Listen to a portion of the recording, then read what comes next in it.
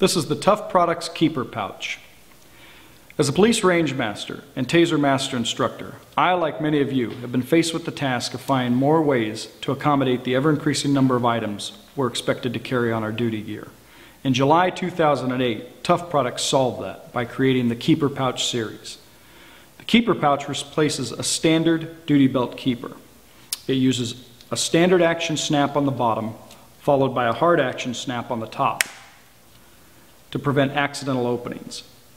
The Keeper pouch is currently designed to accommodate taser cartridges, speed loaders, and latex gloves. It is also designed to accommodate all finishes to accurately match your duty gear.